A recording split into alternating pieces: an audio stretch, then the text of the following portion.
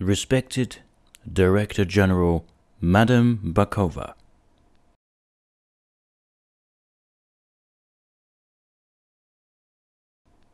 President Mr. Wanamithi.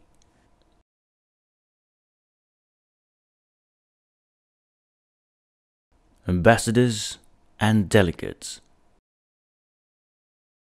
Religious leaders and representatives.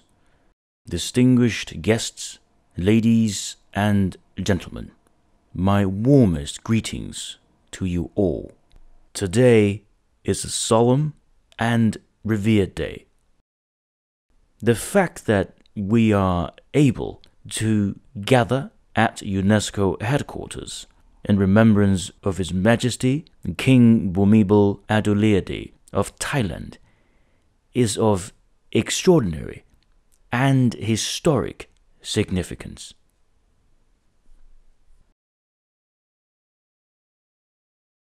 From what he did during his 70 years' reign,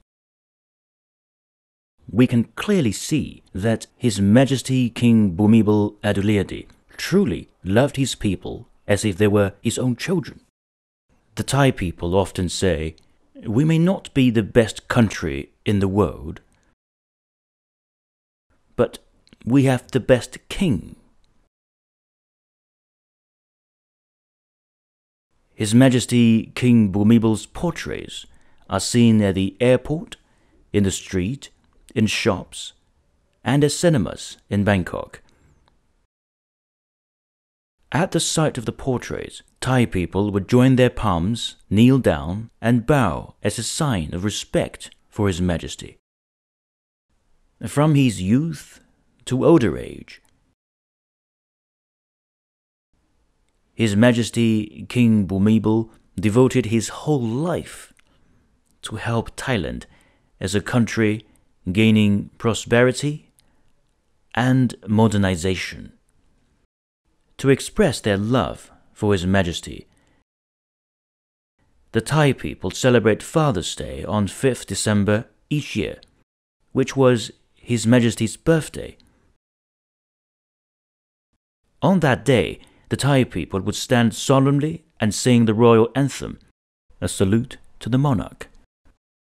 Monks would also take the lead in reading Buddhist sutras and praying for His Majesty. This was a sagely king that had been portrayed by ancient Chinese.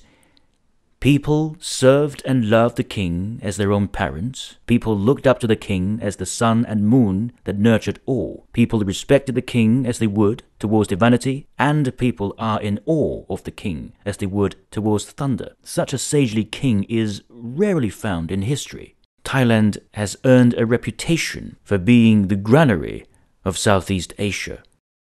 Traditionally, nearly 70% of the Thai population are engaged in farming. Thailand is the only net exporter of grain in Asia and is also an important exporter of grain in the world.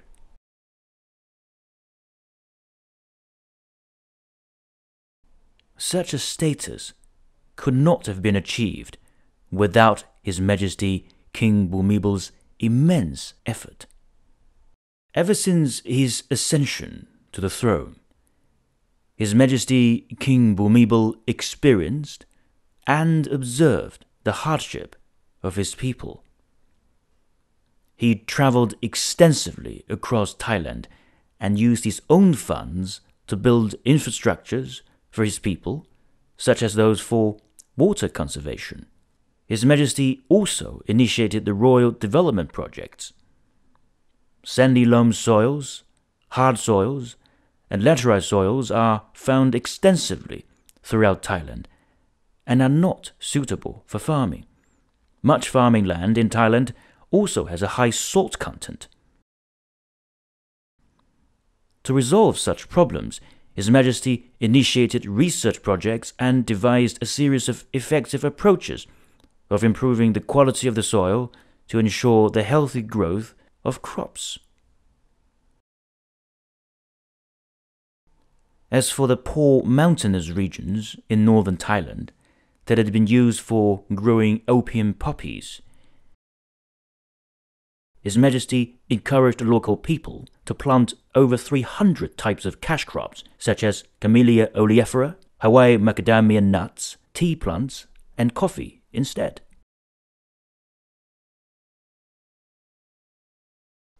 This approach has not only reduced the supply of narcotics in the world, but also promoted the stability and prosperity of the mountainous regions in northern Thailand. His Majesty King Bhumibol also donated 9,400 acres of royal land across five provinces to landless farmers for practicing farming skills and techniques. Up till now, there have been over 3,000 royal development projects across the entire country. And His Majesty has consequently won the title of the Farmer King. His Majesty not only cared about agricultural development, but also for the health of his people. On the palace grounds, His Majesty had rice crops grown in the test fields and established a milk factory that provides free milk for school children. His Majesty also invested in building the Thai Farmer National Museum. As part of the activities, after an introductory talk about crop production to the children, the museum staff would take the children to the fields and teach them how to plant fruit trees. At the end of their visits, the children will have the opportunity to take young plants that they would like to grow back home. The children say, We have learned so much in the museum. His Majesty is excellent. In Thailand, when people are ill and have to be hospitalized, they only need to pay 30 Thai baht to cover all fees from going into a hospital to leaving the hospital. The funds used for supporting these national public welfare projects come from His Majesty's annual income. To honor the outstanding contribution that His Majesty King Bhumibol had made in tirelessly promoting rural development and helping improve the living standard of people across Thailand, the then UN Secretary General Annan awarded His Majesty the first UNDP Human Development Lifetime Achievement Award. As Mr. Annan said, after all, if human development is about putting people first,